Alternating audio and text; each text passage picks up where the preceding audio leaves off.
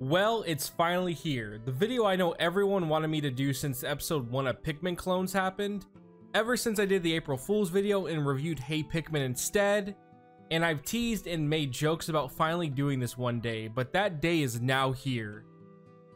I'm finally going to be reviewing Pikmin 1. I asked my community what the next video topic should be on, and you all have spoken. So without further ado, it's Pikmin 1 time.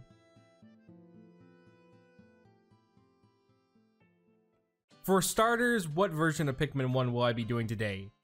I'm sure all of you are aware that Pikmin originated on the GameCube and then had later ports on the Wii with motion controls. Then the most recent port for Pikmin 1 coming out being for the Nintendo Switch. Now out of all three of these ports, I would argue that each have their pros and cons. GameCube being the fact it's the oldest version and not looking the best, the Wii version having to have you get used to motion controls and there's no way to turn those off, and then the Switch version while having a nice aspect ratio bump, making this version look way more modern than the other two just with worse looking colors, which makes the older versions look way more natural. Plus a lot of the old product placements are gone, which is weird to hate since most product placements are annoying or very off-putting, but I feel these were a strong part of the original game. The better textures make things look way more realistic, it's just the colors don't accompany that look. I, however, decided to pick the Wii version even though I owned the game on GameCube. It's just way easier for me to capture gameplay footage with my Wii U because of HDMI. I also didn't want to pay around $50 for basically a better looking GameCube version, so that's why I didn't go with the Switch port. And I get it, I can get both games, but I also can get both games on my Wii U for way cheaper. If you know what I mean. That's not to say the Switch version is a bad port, as you have options to use gyro aiming and that seems to work fine for what it is. I just would much rather stick with my old-fashioned Wiimote, I did, however, dread playing this with motion controls, but I was informed by many people that this actually was the best way to play this game. So I trusted them and I can say that I was very surprised how much I fell in love with Pikmin 1. I think out of anyone I probably have the weirdest view of coming into this franchise that no one else would have. I've played many of the clone games of Pikmin and experienced how easy it is to mess up the Pikmin formula or how much the design philosophy can be expanded on. Plus my only actual Pikmin experience being Hey Pikmin, it's safe to say I don't think anyone has ever come into the series the way I have. I also have plans for more clone videos, so don't worry guys, I've just been busy with other projects. But I do actually have one hopefully coming out after this video, so stay tuned for that. But because of this, I feel I can offer quite a unique look into the series. But for those that aren't aware what Pikmin is, I think it's time to do a little history lesson. The idea of Pikmin comes from two devs, Shigefumi Hino and Masamichi Abe. They had this idea to move multiple characters on a single screen around an environment. Hino wanted to take these characters and make them do stuff like how you would control the Sims. This would take place with you giving them commands to then watch them do things in the world. He called this controlling them with thought chips. From what it seemed like according to the interview on Nintendo World Report, they were going to do more actions accustomed to traditional RPGs like attacking, defending, healing, etc. They also would have been able to equip more of these thought chips as the game went on, but no one really knows what this would have been like. There was even another idea talked about when the game originally was using the codename Adam and Eve, where you would still play a godlike role but be able to make the characters breathe, which makes sense when you see the first designs of the Pikmin as they even have genders. The gender corresponds with the color circle on the back. Apparently, this was giving the devs a lot of trouble properly fleshing out, so this idea was scrapped entirely. The only thing that seemed to carry over from the older ideas that they had was the Bulborbs, but if they looked the same, I couldn't figure that out. But it was mentioned they served a role as a mammoth-like creature. I personally don't like these, and I'm glad we got the more cute designs of Pikmin. Miyamoto did state though that his design goal for the creatures was to make something high school girls would find adorable.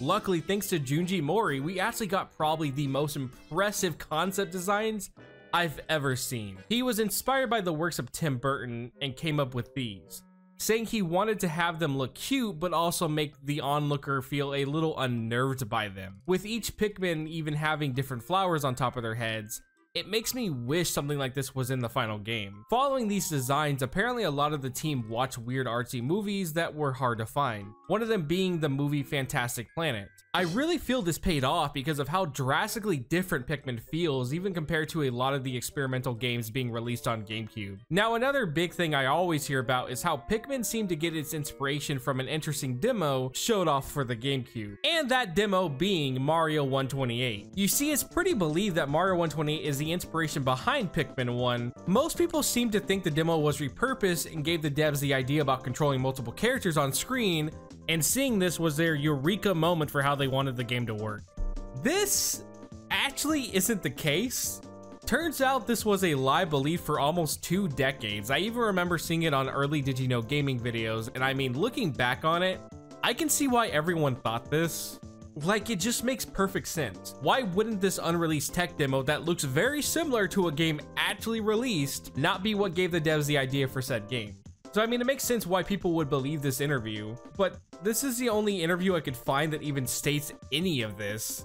Thanks to Nintendo World Report again, even helping me go down this rabbit hole about debunking it, I learned that Yuji Kondo, the programmer behind the game, was interviewed about it and said that he and the team didn't even know what Mario 128 even was, meaning the demo didn't have any influence on the planning stages or the mechanics. They apparently had the ideas already made for the team to work off of, and the Mario 128 demo was made by another group entirely.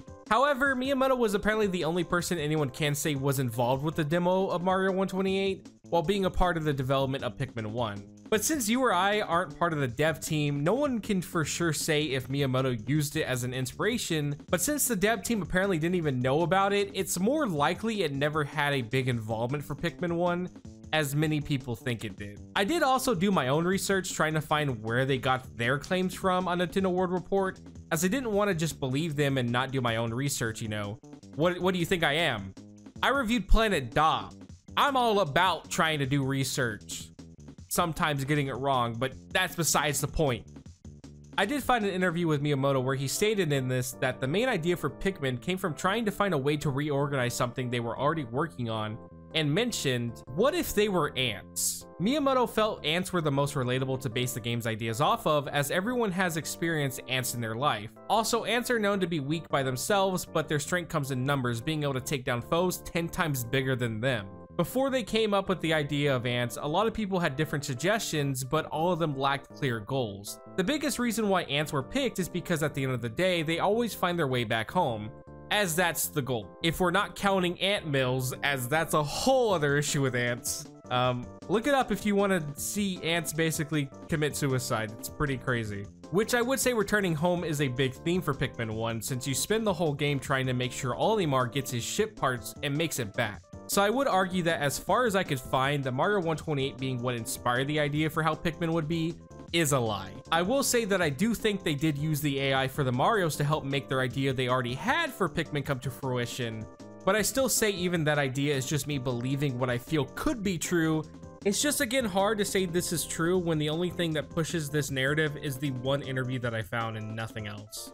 Again, going back to the interview with Miyamoto, everything he basically brings up for what helped the idea come together was even before he settled on the final designs for the Pikmin.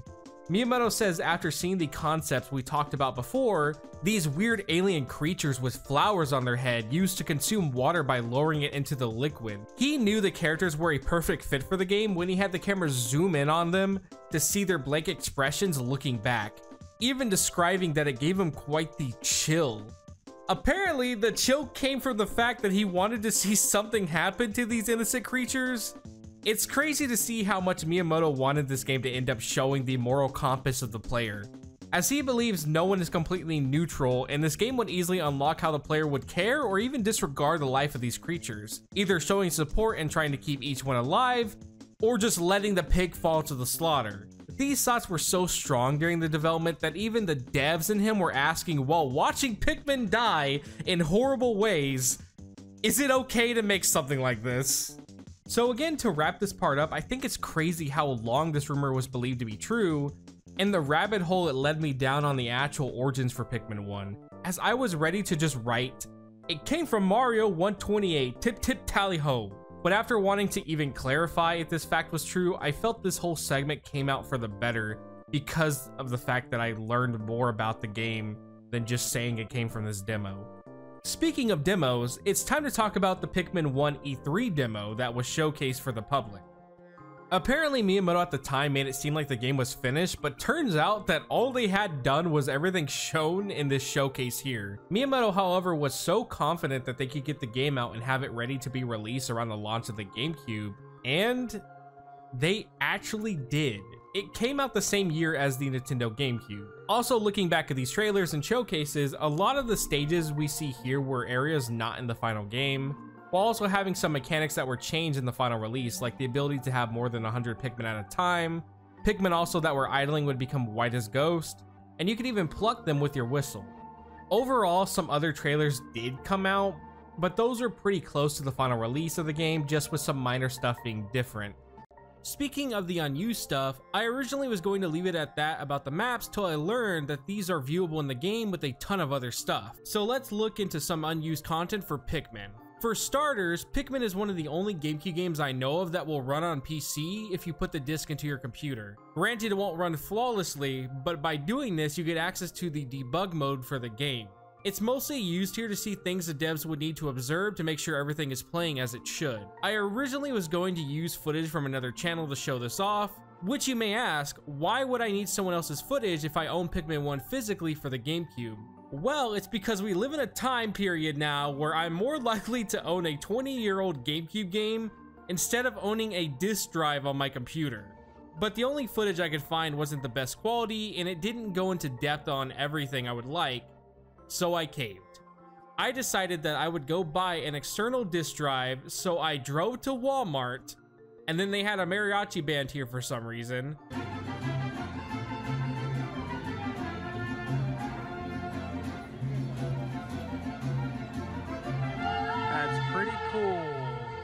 I then found out the disk drives are expensive.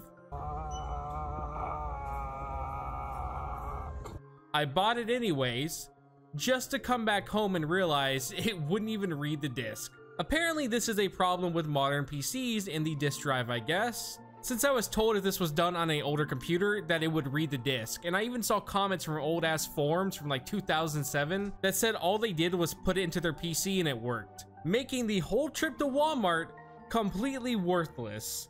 Luckily, there is a way around it where I could get it to run, but it's one of the most convoluted things I've seen. First off, because we live in modern times, I could have skipped the whole thing of getting a disk drive by legally getting an ISO dump of the game and extracting the files from Dolphin. I can't tell you how to get this ISO, but there's probably many channels that will.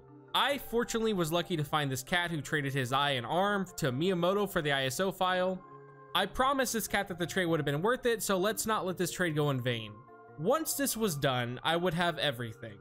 But even with the files now, they still won't run because the PC is too modern. So now what you have to do is find this file on the internet and make sure it's a specific version while also not downloading one that's full of viruses, as these apparently are usually just infested with viruses. This will trick the system boot file to think it's on XP from what I've read. Then you have to make two shortcuts of the system boot file and make sure each shortcut has one of these lines of text in the path directory. After this is done, you have to open them in a specific order or it won't work. And after all that, you can now play a very buggy mess that's only for testing, but it's cool and I like it. So what does this test version have that makes it interesting?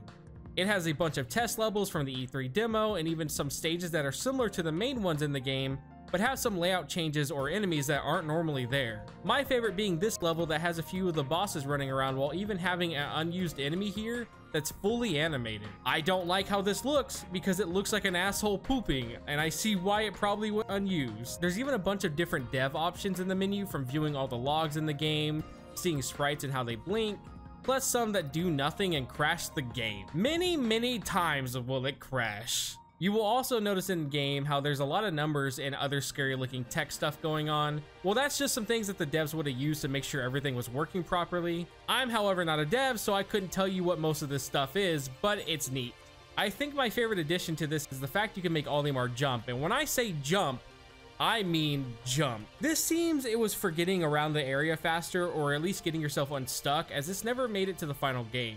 I think it's really interesting to jump so high to see the out of bounds areas as the skyboxes are usually just real life pictures the devs took of nature areas. There's even a model viewer, but I, for the life of me, couldn't get this to work. If you do get it to work, it's pretty cool to see in any animations for the models that play, they will all play at 60 FPS instead of 30 FPS. The final thing I want to mention in this menu that allows you to change all the settings for the game from how fast and slow Olimar can move to even making him an absolute unit. The only issue is all of this is in Japanese, and my PC, which normally can see Japanese characters for some reason, can't now, so all the text shows up as gibberish English letters, meaning I couldn't even translate it with Google even if I wanted to. But yeah, that's the unofficial slash official PC port of Pikmin, leaving us with only a few small things to cover, like the fact these two appear in the game's codes. Mario being the more interesting one, people usually see this and again assume it's because of Mario 128, but this model is way too detailed to be the same one used in the tech demo. This is more likely here to test something else entirely, or it's just a placeholder. What's unique though about this Mario is the fact his hair and mustache are the same color when normally this isn't the case. It's why he probably looks cursed and off to you if you're wondering. The other thing to talk about is the Goomba man here. I'm sure those who know a lot about Sunshine are pretty familiar with him as he can be seen in the final game under one of the stages. So it's a little weird that he's here, but it also means now we even have an earlier timestamp of this guy being in a GameCube game. Now, if you ask me, I feel this is just something a dev made and left inside the game files, not really having any purpose besides being here. If anything, I want to say maybe this Goomba became a joke among the devs, but that's me wishfully thinking for an answer. Lastly, I want to mention how there apparently was going to be a moon timer for traversing at night in the game. This could actually be enabled with cheats, and in the PC version, it even mentions about a nighttime timer a lot in the settings. I'm not sure what would have been changed for the nighttime stages, but I would like to believe it would have been a way to allow players to try to make up for a bad day by going out at night. With the risk being enemies will be more aggressive or even tougher, new enemies normally not out will show up. I really wish this would have been kept in the game. The only other unused stuff I can talk about are just things that either showed off in the PC version and didn't go into too much detail on, or they're just not as interesting. So I recommend going and checking out the cutting room floor if you want to learn more about this stuff. But what if I told you we still weren't done with the interesting stuff I found that isn't the game itself? Pikmin actually got its very own manga. This manga is supposed to show the life of the Pikmin before Olimar crash landed, basically consists of them getting eaten and killed. Even has a scene where a Pikmin questions why he was ever born into this world just to then be mauled to death. It's again why, if you ever feel bad about having any of your Pikmin die, just remember they were worse off before you showed up. There's even a video that does a pretty good job at animating the manga if you're interested in that. A lot of people in the comments though seem to not realize it's based off the manga, but hey, now you know. Overall, I think that's everything I wanted to cover for the history and start of Pikmin. So it's finally time to get into the actual game. How will Pikmin hold up to my experiences of only being Pikmin clones in Hey Pikmin? Will I love Pikmin and see what all the fuss is about, or will I just not care? I don't know, but I'm excited to find out. Pikmin begins with our protag, who is one of the few Nintendo characters who has had intercourse before, as he's heading back to his home planet to see his wife and kids. But while on the way back, he gets hit by a meteor knocking his ship off course as it goes crashing down to a planet below. Wait a minute. Planets? Planet? Planet D? Planet Do? You know what I just realized? This reminds me of another game that has our protag in space who basically has his ship crashed, known as Planet Daub. Planet Daub follows our protag named Daub, or what turns out to be you pretending to be Daub, as you go through the areas finding what are known as bits. These bits are then used in the DTMS to make it get all trippy which then allows you to head off to the next area. But to find these bits, it usually requires you to bring an item to a person, which then in return gives you the ability to make a sound that will cause the bits to come to you. These bits can be pretty easy to spot, but can also be quite hidden. Usually with the hidden ones, it will require you to play a sound and do this weird time-based minigame, and thanks to the input delay on modern monitors, this can make these quite annoying, but you can keep retrying them so it's not the biggest loss. Personally, I adore how the bits are these little cubes that run around, they're like the 90s versions of Minions, but you don't see moms making posts about them on Facebook or the equivalent to the time, the bulletin board system. I even think a lot of the characters have such a unique charm to them. Kenichi did such an amazing job bringing them to life and I just can't get... Oh shit, this is a Pikmin review. She planning on my Daub. until I think about how it feels. We now cut to a shot over the planet as pieces of the ship fall to the ground below. Olimar now wakes up to realize his ship and only way back home is now destroyed. Making things even worse is the fact the planet's atmosphere has high levels of poisonous oxygen, giving Olimar 30 days to fix the ship. Or, you know, die. that That's the other option. It's not great. Then we're just sent on our way to explore the area we're in. We soon come across what seems to be a red ship with a flower on top as it springs out of the ground. Then a red seed pops out and floats down as it sprouts. Olimar makes a comment about how the ship looks similar to a vegetable from his home planet known as an onion. So he calls these giant ships an onion. After a little bit of waiting, we see the red seed form a leaf on top of it, as it points up to the sky allowing us to pluck it out of the ground. This is when we're introduced to Olimar's only way off the planet, which are the Pikmin. Olimar calls them Pikmin because they're similar to a carrot brand from his home planet called Pikpik. Real quick, I just love how Olimar gives these little text dumps showing that he basically is reporting his findings, and it's neat to see his scientific background come into play. And then I realize he's not a scientist, the man is basically a space mailman, so I don't know why I thought he was part of some scientific corporation. I mean, I was told apparently too that train conductors write about wildlife they see, so maybe he's more like a space train conductor, but I don't know, I thought he was a scientist this whole time. It really shows you my knowledge of Pikmin before coming into this.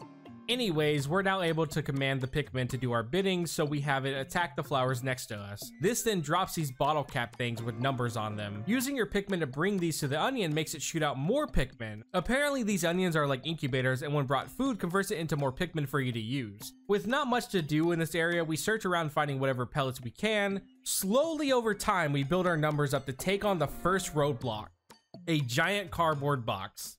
So this is going to be something you'll do pretty common in the game, and that's using your Pikmin to move things out of the way. Each thing that you'll move out of the way usually will require a set number of Pikmin to use, so better get used to micromanaging numbers of your units if you want to get anywhere. Once that's moved out of the way, we even locate our first ship part. After it's brought back, we get this scene of the Pikmin and Olimar getting into the ship and flying off. With each passing day, Olimar talks about his experience for the day and gives more comments about the ship while learning about Pikmin. We even have Olimar name the force below, calling it the Forest of Hope, as he knows it's what holds the key to his survival.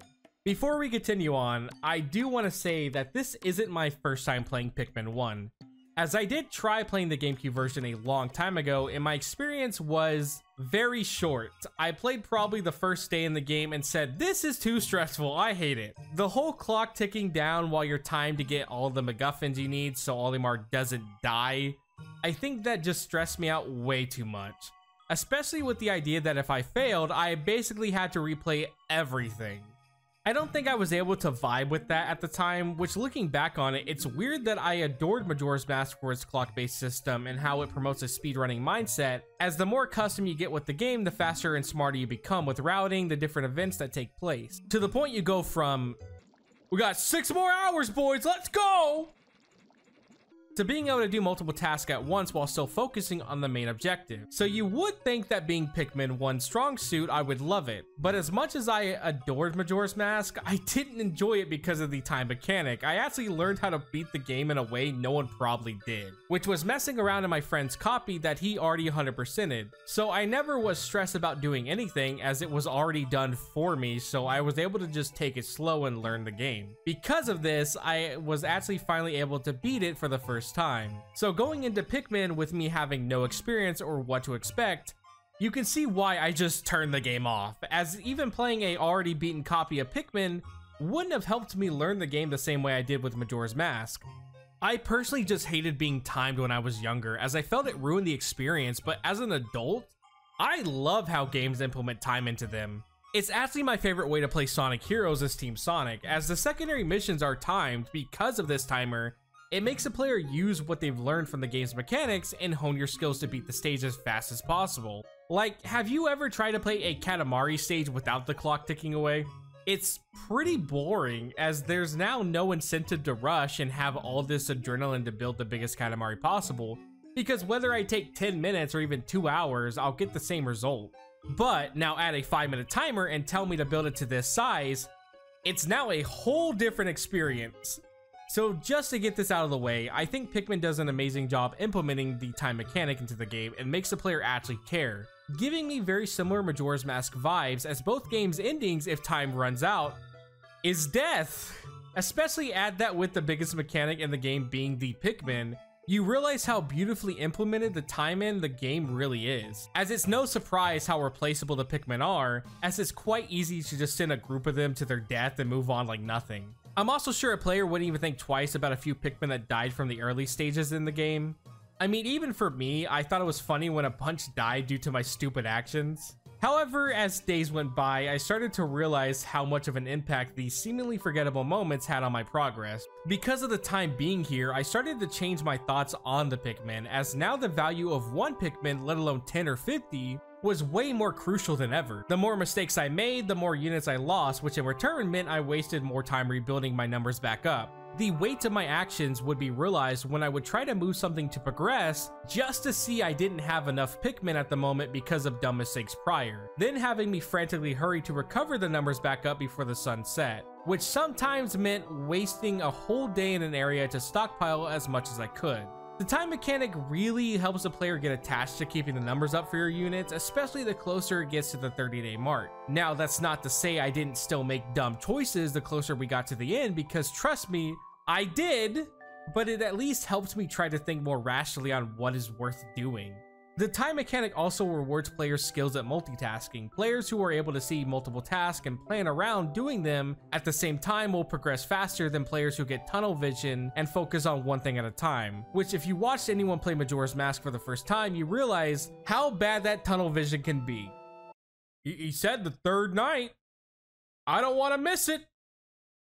I really, really love the ability to let Pikmin loose on carrying stuff back, while I have another group help me either fight enemies in the stage or move an obstacle. It just feels so rewarding as you and your Pikmin are in sync and constantly growing the numbers while locating the ship part. To me, this was one of the bigger downgrades in Hey Pikmin as most of the time you weren't able to do multiple tasks at once, and the game ended up feeling very one-track because of that. Especially since Hey Pikmin is basically a weird 2D version of Pikmin 1 in a sense.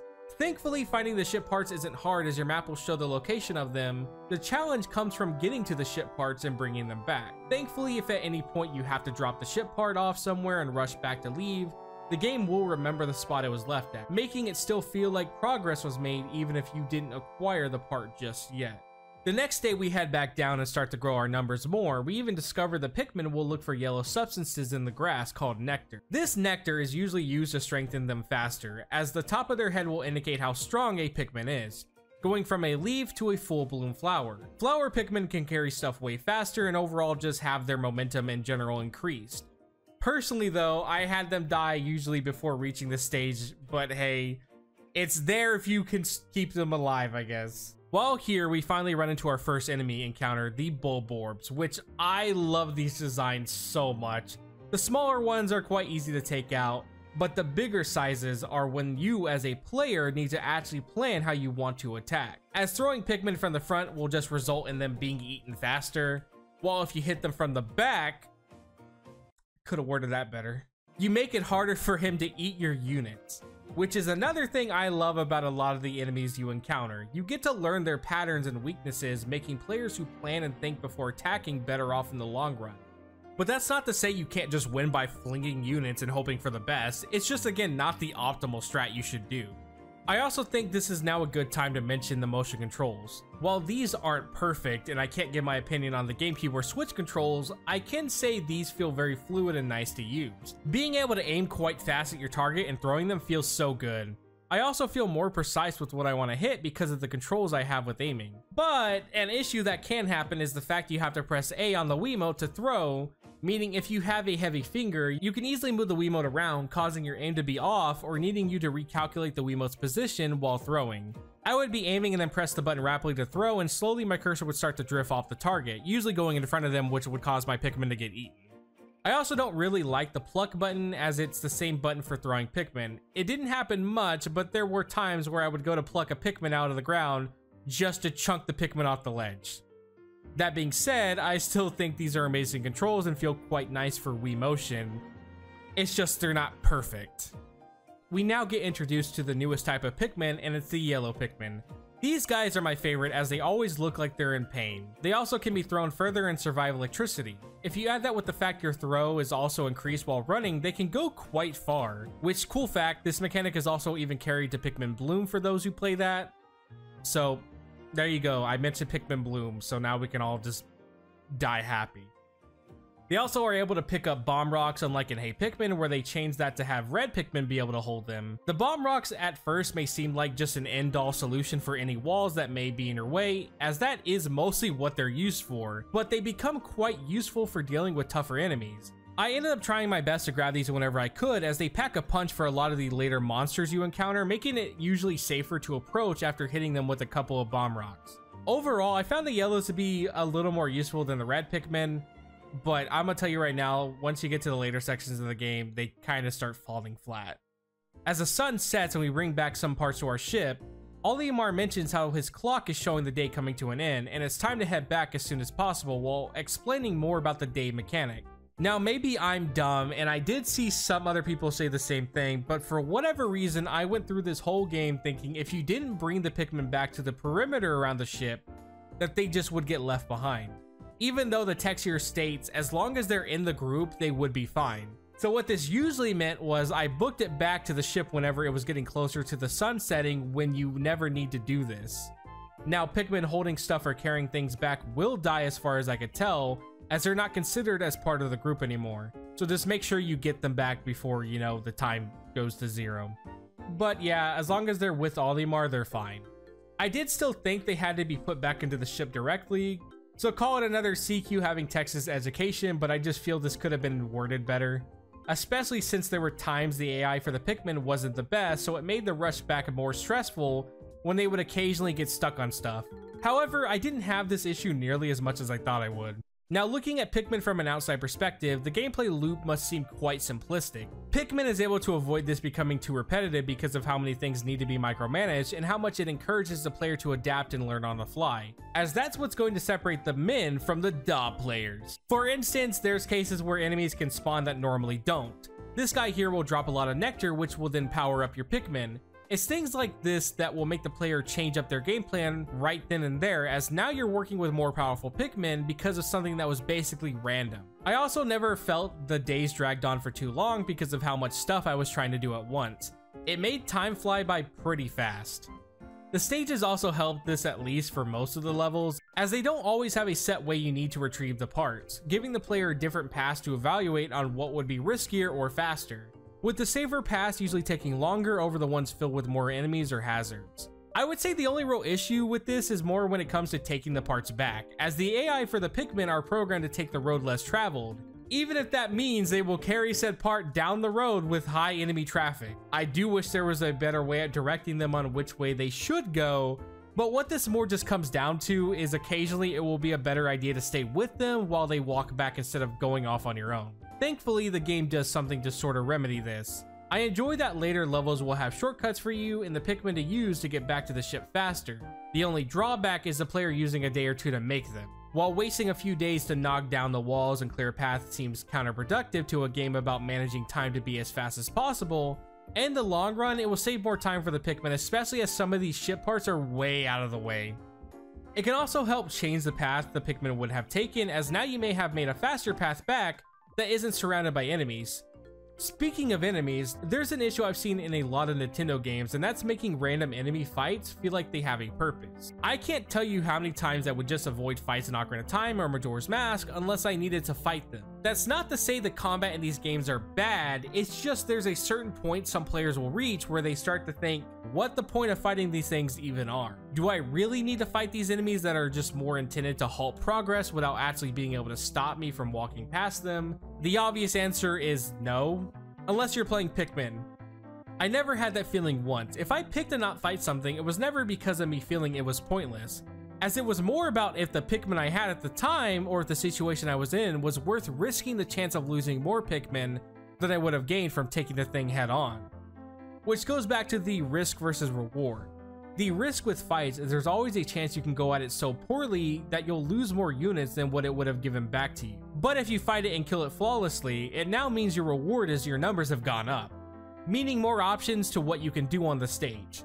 Since the Pikmin strike isn't from the individual, but from the colony, it is very entertaining to just watch whatever is in your path get flanked by your army of Pikmin. Plus, watching them carry it back to then have it be consumed into more Pikmin is never not satisfying. There's even a move you can do where all of your Pikmin attack a target at once called Swarm. I didn't know this was in the game because I had no idea how to do it for the longest time, and I didn't remember the game ever explaining it. But yeah, it's an attack that emphasizes how much stronger you are when your numbers are high. Speaking of things the game has a bad time explaining to you, there's a lot of random mechanics that the game will never inform you about. That's not to say the game doesn't make some of these mechanics obvious, it's just only going to be obvious if you really observe what's happening. For the longest time, I didn't understand why my Pikmin weren't taking the yellow pellets to the yellow onion. Well, it's because the AI will prioritize where it takes pellets based on the numbers of a Pikmin type holding it. So if it has three reds and two yellows, it will go to the red onion and give you red Pikmin. I just didn't know this for a good while, and I also didn't know that the color of the pellet also matters. If you have a red pellet being carried to the red onion, it will give you more Pikmin because of that. This, as useful as it is, can sometimes make it really annoying as I need more of this specific color, but the only pellets around are huge numbers of the color that I need, and the only ones that I have that can carry these huge numbers are the opposite color.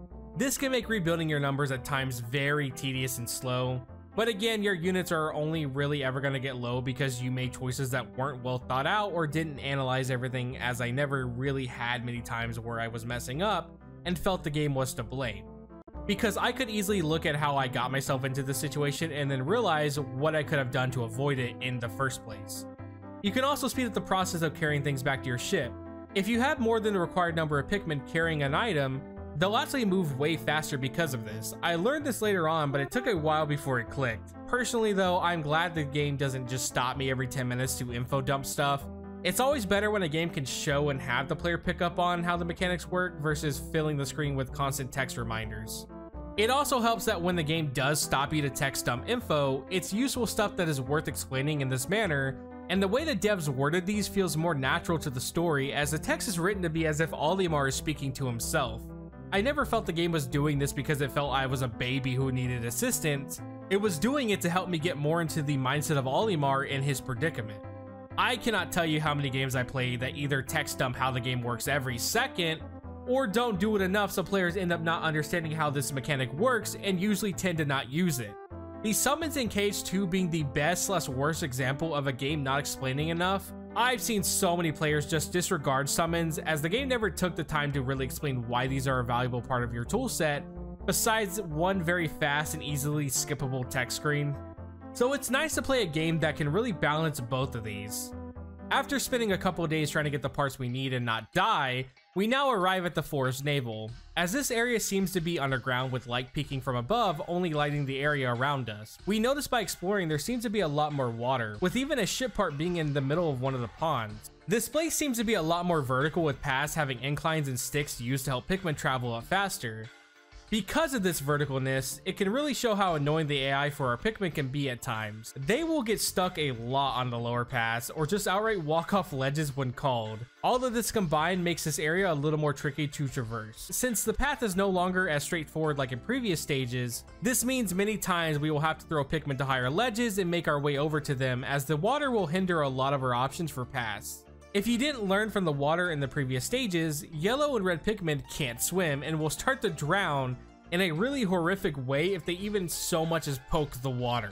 We do some exploring and we finally run into a blue onion and we unlock the blue Pikmin. These guys are able to breathe underwater and can even be used to save Pikmin that are drowning as throwing them to assist any drowning Pikmin will let the blue ones throw them to safety. But while these guys are good for the water sections, I can't say they will be too useful for the enemies that lurk here, as you will prominently run into these bad boys, the fiery blowhog. Don't let their bandaged up look fool you, as these guys are quite capable of delivering heat.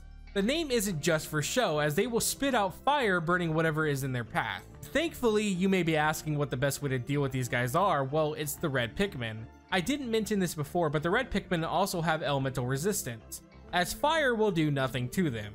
Meaning these fiery blowhogs might as well be fired from their role as an enemy. P please laugh. I've been working on this video for so long, please laugh. But you already know I didn't take much of that into account and still managed to have a lot of my Pikmin burn. Now that we have three Pikmin types, I want to talk about how much I love the fact that the game will never tell you which one you should prioritize more, as that all comes from the player figuring that out based on the environment you're in which was something I didn't like about Hey Pikmin as you never had to think which Pikmin were more important in this area because the game did that for you. While it did mean less times of me being screwed with progression because of me not having enough of a certain type, it however just enforces more gaming with my brain turned off. It's nice to get to a new area and see enemies that breathe fire or just a lot of water around. It would have been so easy for the devs to stop you every time you enter a stage and just have a random text screen show up or have Olimar go, Wow, that's a lot of water! Better use the blue Pikmin! But just like the player experiencing this for the first time, so was Olimar. Meaning it's all down to what clues and info he and you can figure out, then using said knowledge to come up with a game plan. Rewarding the player for observing and adapting. It helps that each area really feels alive, making it easy to compare stuff in the game to our own world, which can help the player figure out what approach to take. It's pretty cool to sometimes walk up on Bulborb sleeping or seeing water enemies actually swimming around and doing aquatic stuff. It makes it so much easier to immerse myself into the world while also realizing that this world isn't made for Olimar or the Pikmin, as everything can and wants to eat or kill you. While in most games you feel as if the world revolves around you and if you just choose to do nothing, so does the world. In Pikmin, that just isn't the case. You see, the world lived on and will continue to live on whether you make it off the planet or not. Pikmin or you dying isn't going to bring this whole ecosystem to a halt as these creatures couldn't care about you at all. This feeling will really hit and drive the player to get the parts back since no one is going to come and save you, and no creature on the planet would even think twice to not murk you. Which if Olimar was to ever die, the world would never even stop to take a second to even remember you. Now, Olimar at the end of the day is the main character of the story, but not the main character of the world. While the world is quite beautiful and you may be inclined to stop and get lost in the beauty of it, the world will keep on moving, so you should as well. Now, was that a deep section I just did, or was that more of like a I'm 13 and this is deep moment? I don't know. Well, unlike most of the reviews I do, I usually go through a play-by-play -play of the stages, but I'll be honest, as much as I think each stage is great to play, there's not much to really say that would be too unique for each one, but I will still cover them because that's the point of the video. I just may not go into a lot of detail on every single stage. After leaving the navel and getting all three types, we start to head back to the older stages getting whatever is left, mostly the parts that were surrounded by water as now the blue Pikmin can have to go get it. Our first stop is the Forest of Hope, as it has three parts we still need to find.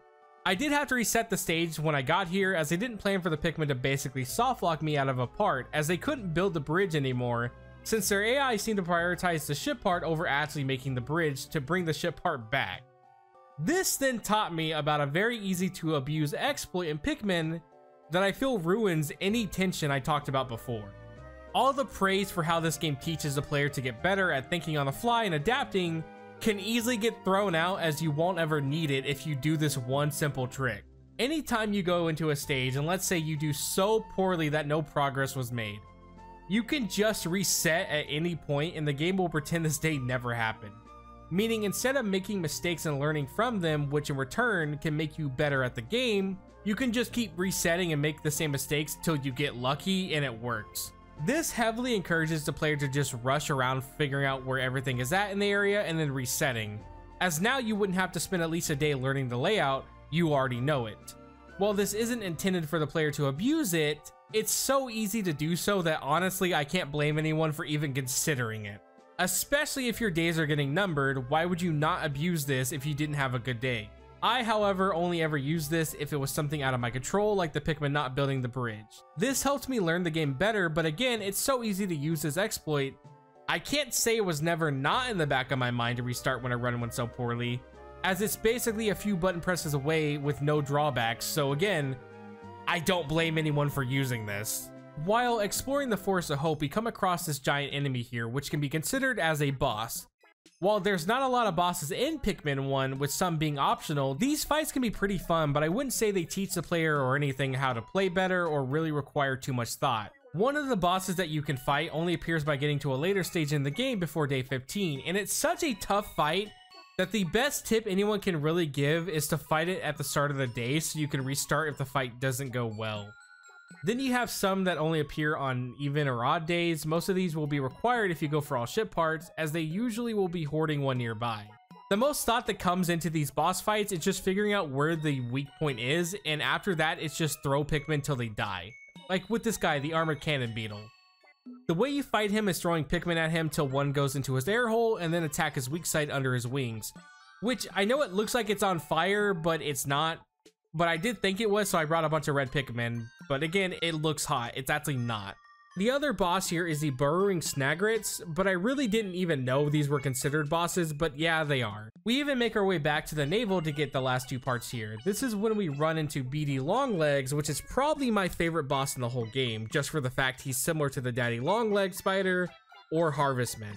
I love just trying to dodge his feet as they slam down while aiming for his body, even if he's super easy, he's still my favorite. I, I, I love him too much to like hate him. The other boss here is the Mushroom Man Puffstool. This guy's pretty cool as he has a very unique attack of turning your Pikmin into a new Pikmin type that tries to kill you. These are Puffmen, which is technically the fourth Pikmin type in the game that isn't usable by the player. They will swarm Olimar and attack him like they do to everything else. Just stay back and let your Pikmin that are still alive do the work and Puffstool will go down without an issue.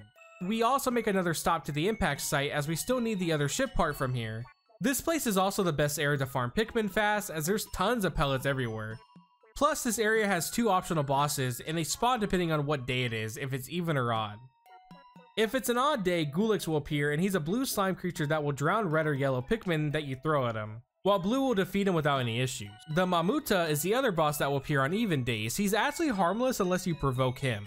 He's however beaten like all the other bosses. Finally getting the last part here, it's now time to tackle the hardest stage in the game. The one and only the Distant Springs is a massive area that has over 10 parts to find and some of the toughest groups of enemies you will face so far. Even having the beetle returning again that you fought in the Forest of Hope. Mix that with all the hazards that are around from fire pits, water, and a bunch of walls that block your path, it's safe to say you will be spending a lot of time here. You will really need to be on your A game when it comes to bringing parts back to the ship, as every part will feel like its own mini challenge forcing you to really plan out your optimal route if you want to still have enough time to beat the game. I'm gonna say this outright, while it makes sense to have the last area before the final boss be difficult, I think they went way overboard with the amount of stuff that can just ruin your day. For starters, almost all the parts are in very cramped spots with enemies surrounding the area, so more often than not, you will get dive bombed by multiple creatures as you try to deal with the one you need to fight. Then you could have the issue of trying to take the part back while crossing paths with upwards of 3 to 5 enemies almost at the same time. There's also so many walls that need to be destroyed or blown up with bomb rocks to the point it gets old fast. The water spots in this place are abundant, really making blue Pikmin be the most required unit to keep alive. This was actually the stage as well where I started to see the faults in the Wii motion controls as frantically trying to aim at multiple things while pressing A just caused a lot of misses. This was also the only level where my Pikmin constantly would just start to idle and forget we were in a fight or something. Like, like what the fuck are you doing? Do, do you not see you're dying. Come on, man. You're dying. I had it happen multiple times back to back. It got to the point I started to be glad they were dying as they were pissing me off. To put in perspective how long this place took me, I got here on day 15. I finished this stage on day 26. This is a good idea in concept, taking everything you've learned with each Pikmin and using that to solve the mini challenges to get the parts back, it's just the amount of stopping to break walls or fight enemies that are powerful on their own and now make them into groups. It's just not fun. I really despise this place. I even talked to my friends about it who love Pikmin and I was told it took my friend to finally get the hang of this stage after he played Pikmin three times to completion. It's again too much for me, but I at least finished it with seconds to spare. So I guess that counts for something.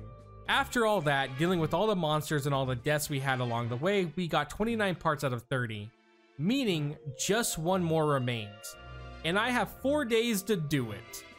What's bad is the final part is fully required to beat the game, meaning if I fail, all my work is for nothing. The final trial is here and honestly, it's not that bad. I feel it does the same concept that the last area was trying to do by using all of your Pikmin to complete puzzles to advance. This place does it way better. This feels way more like an actual puzzle with three paths each having things that the Pikmin are known to do in them. Blue crosses the water to build bridges, red goes through the fire pass to help build things, and yellow, they just, uh, they're mostly used for throwing. They're mostly used for bomb rocks, which is probably why they could carry them in the first place over the red Pikmin, as it's the only thing they really ever do in the game. This area did stump me as I couldn't figure out how to get my red Pikmin across the pass since I couldn't just walk with them as a ledge blocked my ability to get up there. And you know, also too, Olimar will burn to death if I did.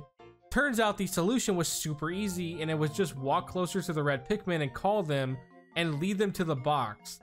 Thank you to the chat member who said this because I would have never figured it out. I'm telling you right now, I would have just never known. We now stumble upon the final boss of the game, Emperor Bulblax, who is a boss I'm familiar with from Hey Pikmin. I'm gonna be real here, I don't think I fought him the way you're supposed to, as he kept killing my Pikmin every time I latched them onto him. I still managed to beat him over time even after a lot died, but man, I don't know what the intended method for fighting him was. It took me so long to beat him as well that I had to come back the next day for the part, because I ran out of time. Also, this is just me, but the final boss music is pretty mad and I didn't like it. We come back and bring the final part to the ship as we now have completed Pikmin 1. And oh boy, I'm gonna be honest, I really love this game and I can see why people love this series, man. It really does reward the players who are efficient and can think fast while multitasking. This is also a perfect game for speedrunning and really made me even think about ways I can improve my run if I ever play this again. I probably won't because of Distant Springs, but if I did, you know, it, the options are there. We get a final shot of Olimar leaving as he says goodbye to the Pikmin, having a touching moment as we now accomplished our goal.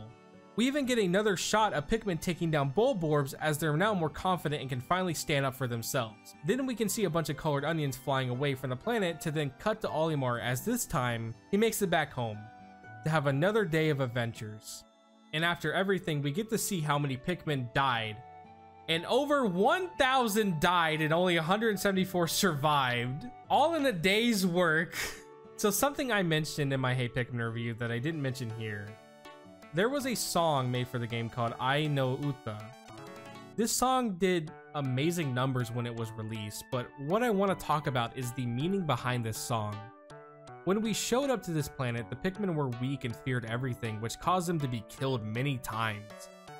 Once Olimar appeared, it's strange to think how easily they just started to follow us and do whatever we commanded. Well, that's what the song is about. The song is about the perspective from the Pikmin themselves, no matter what, they will follow and do what we ask. Not because they're forced or they're slaves, but because they want to. As we will be the person to guide them to their freedom, a new hope for all of the Pikmin. And I can say, we sure did that. At least for 174 of them. Thank you guys for watching. I hope the video was worth the wait. Have a good one, guys.